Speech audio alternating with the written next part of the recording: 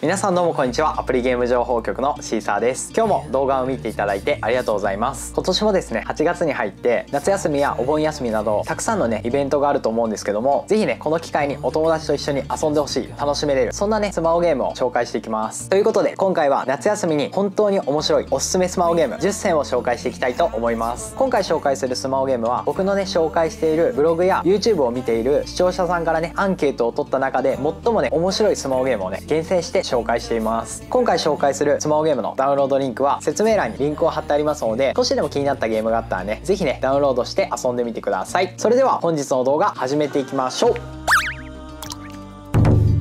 まず最初に紹介するのは、ワンピースバウンティーラッシュになります。本作は最大4対4のチームで繰り広げる本格アクションゲームです。そんな本作、どのようなゲームかというと、本作はですね、ワンピース初となる最大4対4のチーム対戦アクションが楽しめます。こちら、ワンピースバウンティーラッシュはね、ワンピースでは初となるね、最大プレイヤー4対4のチーム対戦アクションゲームなんですけども、もちろんね、1人でプレイできるソロプレイモードも遊べます。この機会ね、各キャラクターの能力を活かしてね、お友達と協力して遊んでみてくださいね。続続いてですね、3D で表現されたワンピースの世界を舞台にね、本格アクションバトルを楽しめます。こちら、ワンピースバウンティーラッシュはね、ワンピースのあらゆる世界が対戦バトルのステージでね、プレイヤーはね、お気に入りのキャラクターを操作してね、ステージ上の多彩なアイテムだったり、豊富なギミックを回避しながらね、本格的なアクションバトルを遊べます。それ以外にもですね、ワンピースシリーズの多彩なキャラクターを楽しめます。本作はですね、ワンピースの人気キャラクターだったり、過去に登場したマニアックな登場キャラクターや、最新のキャラクターまでね、非常にね、豊富なキャラクターを操作できます。キャラクターによってね、戦闘スタイルが変わるのでね、いろんなキャラクターを遊んでみてくださいね。次に紹介するのは鋼の錬金術師モバイルになります。本作は全世界シリーズ累計8000万部突破の荒川博さんが描くダークファンタジーコミックス。鋼の錬金術師のスマホ向け最新作ゲームです。そんな本作どのようなゲームかというと本作はですね鋼錬の世界観を忠実に再現されています。ハイクオリティな 3DCG で演出された原作ストーリーと迫力あるアクションバトルを楽しめます。さらにねコミックス鋼の錬金術師の原作ストーリーを追体験でききるとともにね。アニメおなじみの声優さんのフルボイスで遊べます。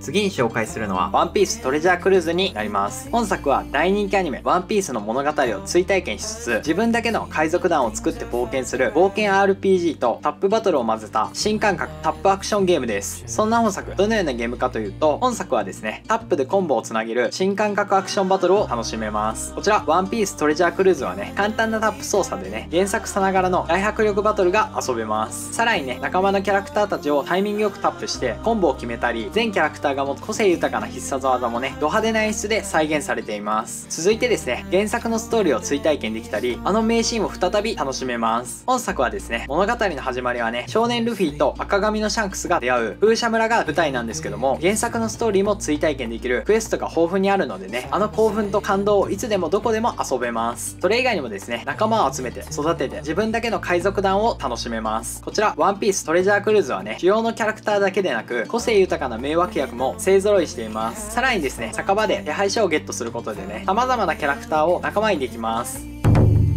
次に紹介するのは Apex Legends Mobile になります。本作は3人1組のチームでね、20チームが参加する総勢60人で戦うバトルロイヤルゲームです。そんな本作、どのようなゲームかというと、本作はですね、ゲーム機なしで手軽に Apex Legends が遊べます。これまでの Apex Legends シリーズはね、PC だったり、プレステ4や Nintendo Switch などの高価なデバイスが必要だったんですけども、こちら Apex Legends Mobile はね、スペックの低い安価なスマホで誰でも遊べる仕様になっています。続続いてですね、Apex Legends シリーズ最も簡単操作で遊べます。一般的な Apex Legends はね、キーボードやコントローラーで操作するんですけども、こちら Apex Legends Mobile はね、キーボードやコントローラーを一切使いません。そのためね、Apex Legends を指だけの簡単操作で遊べます。それ以外にもですね、スマホ版オリジナルの Apex Legends が楽しめます。こちら Apex Legends Mobile はですね、スマホに特化して制作されているのでね、スマホの方以外の PC やプレステ4などの他のデバイスで遊んでいるお友達と一緒に遊ぶことができないんですけども、その代わりね、スマホ版限定のコラボイベントやアプリ限定モードなどが遊べます。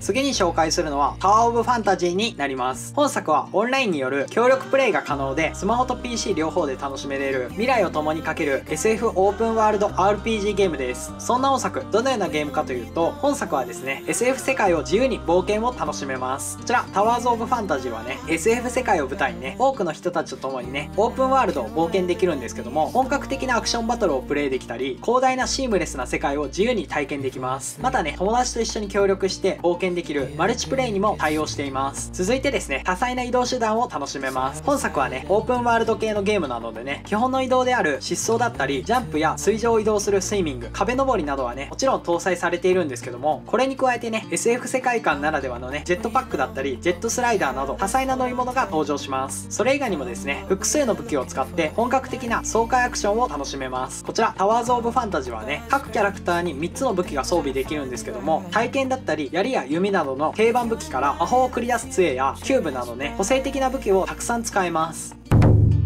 次に紹介するのは、 Dead by Daylight Mobile になります。本作はキラー殺人鬼と呼ばれるキャラクター1人とキラーから逃げながら協力して脱出を試みるサバイバー生存者4人で対戦する世界で驚異的な人気を誇る大人気非対称ホラーサバイバルゲームです。そんな本作、どのようなゲームかというと、本作はですね、 Dead by Daylight シリーズ初の無料ゲームになります。これまで発売されてきた Dead by Daylight シリーズの PC 版だったり、プレステ4や Nintendo Switch 版ですね、ゲームソフトを買うのにお金がかかってしまったりですね、オンラインで友達と遊ぶためにお金がかかってしまうなど、有料ゲームだったんですけども、こちら、 Dead by Daylight Mobile はですね、ダウンロードからプレイまで全て無料で遊べます。続いてですね、デッドバイデイライトが簡単操作で遊べます。PC やプレステ4や Nintendo Switch 版に比べてですね、こちら、デッドバイデイライトモバイルはね、画面を切り替えることなく、サバイバーやキラーを選ぶことができたりですね、プレイを開始するまでの時間を簡略化しています。またですね、肝心の操作性はね、タッチで直感的にプレイできるようになっています。さらにですね、サバイバーは自動的に走れたりね、画面を押している間だけ画面が180度反転する機能があったりとね、誰でも短い時間で簡単に遊べるようになっています。それ以外にもですね、無課金でもがっつり遊べます。本作はもちろん課金要素はあるんですけども、チュートリアルのクリアだったり、ログインボーナスやデイリーミッションやキャラのレベルなどでもらえる報酬を使うことでね、無料でサバイバーやキラーを入手できます。本当にね、無課金でもがっつりやり込めるので、ぜひ遊んでみてください。次に紹介するのは真珠伝説になります。本作は戦士時代の神話の世界に RPG 要素をふんだんに盛り込んだオープンワールドサバイバルゲームです。そんな本作、どのようなゲームかというと、本作はですね、シームレスで広大なオープンワールドを自由に楽しめます。こちら、真珠伝説はね、資源の採取だったり、アイテムの製作や農作物の栽培、技術の研究を自由に遊べたりね、切るための簡単な小屋だけでなく、宇宙で大きな基地を作ることができます。続いてですね、武器を自由に組み合わせた豊富な戦闘スタイルを楽しめます。本作はですね、多彩な武器が登場するんですけども、戦闘中に自由自在に持ち帰ることができるのでね、幅広い戦術を遊べます。またね、戦闘はモンスター相手だけでなくね、プレイヤーとの PVP バトルでもプレイ可能です。それ以外にもですね、個性的な古代の獣たちを楽しめます。こちら、真珠伝説はね、冒険することで出会うことのできる不思議な巨獣たちを全て捕まえることができます。さらにね、捕まえた巨獣たちを自由に多彩な育成ができます。もしね、翼の生えた馬を騎乗、ペットにしたいならね、ペットに飲み込ませて、キメラを制限なく自由に想像することもできます。次に紹介するのはパワープロアプリになります。本作はですね、いつでもどこでも選手育成ができる超人気野球ゲームです。コナミの名作ゲーム、パワープロがアプリゲームになって登場しました。そんな本作、どのようなゲームかというと、本作はですね、無料でパワープロが遊べます。もちろん課金要素もあるんですけども、全てのモードが無料で十分遊べますね。育成や試合に必要なアイテムやパワーストーンはですね、毎日のログインボーナスだったり、特定の課題を達成するチャレンジのクリア報酬だったり、様々なイベントやキャンペーンでね、獲得できますね。本当にね、ね、無料で毎日遊べるのでね、野球が好きな方はぜひ遊んでみてください。続いてですね、本格的なサクセスモードが遊べます。こちら、パワープロアプリはですね、一般的な家庭用ゲーム、実況パワフルプロ野球シリーズでおなじみの野球選手育成モード、サクセスがスマホアプリ版でもがっつり遊べます。ストーリーを楽しみながら、オリジナル選手を育成してですね、試合で操作することができます。それ以外にもですね、多彩なシナリオを遊べます。人気野球漫画、ダイヤのエース、メジャー、逆境ナインとのコラボをしててですね、定期的にね、期間限定のサクセスモードが遊べるのでね、飽きることなく遊べます。次に紹介するのはトムとジェリーチェイスチェイスになります。本作は世界で愛されるトムとジェリーの公式スマホゲームでね短い時間で楽しく遊べる鬼ごっこゲームです。そんな本作どのようなゲームかというと本作はですね公平なバトルと無料プレイで思う存分遊べます。こちらトムとジェリーチェイスチェイスはですねゲームルールはね日本国内で大人気の第5人格をさらに簡単にした鬼ごっこゲームです。子供から大人まで幅広い年齢層の方が遊べます。さらにねトムとジェリーがモチーフなのでね男女関係なしに遊べてねワンプレイ8分間という短い時間でね気軽に鬼ごっこを遊べます。続いてですね豊富なキャラクターとアニメでねおなじみの世界を楽しめます。本作はですねトムとジェリー以外にもニブルスや稲妻やブッチなどね懐かしのキャラクターが多数登場します。さらにねキャラクターはね固有のスキルを持っていたりマップ上に多彩な罠とアイテムが落ちているのでね戦略的な鬼ごっこが楽しめます。最後にですね多彩なゲームモードとカジュアルな鬼ごっこが楽しめます。こちらトムとジェリーチェイスチェイスはですねゲームモードはねクラシックモード以外にもゴールドキーバトルだったり花火大作戦やビーチバレーなどね豊富な種類と独特な遊び方でね手軽にカジュアルな鬼ごっこが遊べます。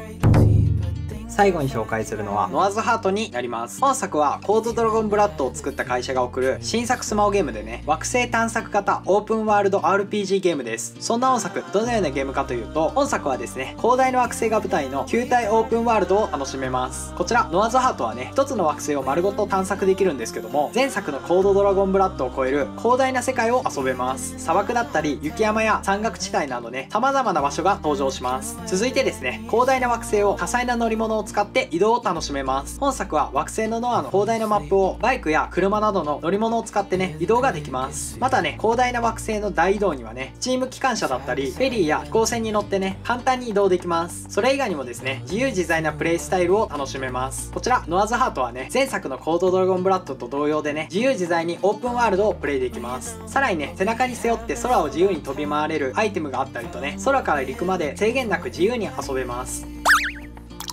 はいということで今回なんですけども夏休みに本当に面白いおすすめスマホゲーム10選を紹介しました。今回紹介したスマホゲームでね夏休みが少しでも楽しくなったって方はね是非ね動画の高評価もしくはねチャンネル登録の方よろしくお願いします。こちらのチャンネルはちょっとした隙間時間に遊べるスマホゲームだったり夏休みや冬休みなど長期休みにがっつり遊べるスマホゲームをたくさん紹介してます。またですね YouTube をチャンネル登録してもらうとコミュニティ欄を見ることができます。YouTube の動画よりも早く速報でね新作スマホゲーム情報や事前登録情報をねねコミュニティ欄で随時ね紹介してますのでもしよかったらねチャンネル登録もお願いします。またですねブログもやっています。YouTube では紹介しきれない新作スマホゲーム情報をねブログでも紹介してますのでもしよかったらね説明欄からぜひねブログもチェックしてみてください。本日もご視聴いただきありがとうございました。次回の動画でお会いしましょう。アプリゲーム情報局のシーサーでした。バイバーイ。